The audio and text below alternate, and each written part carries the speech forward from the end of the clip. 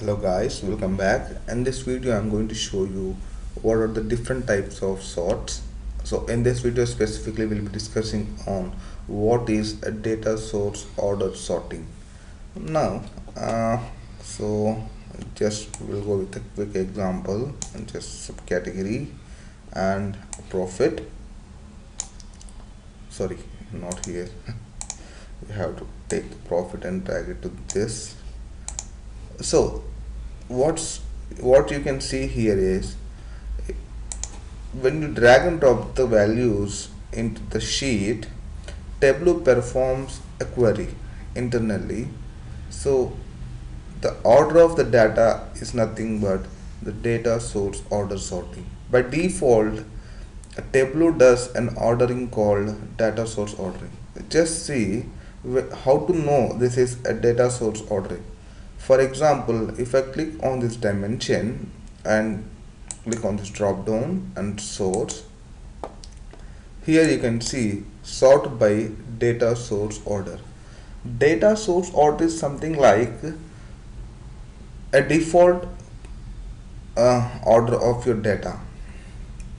So when you drag and drop the columns and rows sorry dimension not which in the table we have to say it as dimensions and measures when you drag and drop the dimensions and measures to your rows and columns on the top uh, the Tableau performs an SQL operation to show the data in a tabular form. So the order of showing the data is nothing but data source order. So in, in most cases don't get confused that the order of data source and alphabetic alphabetic order will be the same in the first place in most cases. And uh, data source order I think you have understood what is this. So this is called data source order.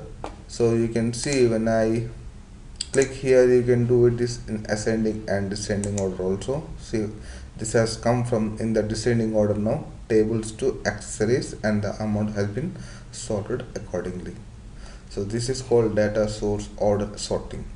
So in the next video we'll be discussing what's uh, um, alphabetic order sorting. Okay? Now see by default this has done the alphabetic order. And the next video we'll see what's alphabetic order and what kind of uh, operations we can do in the alphabetic order. Thank you guys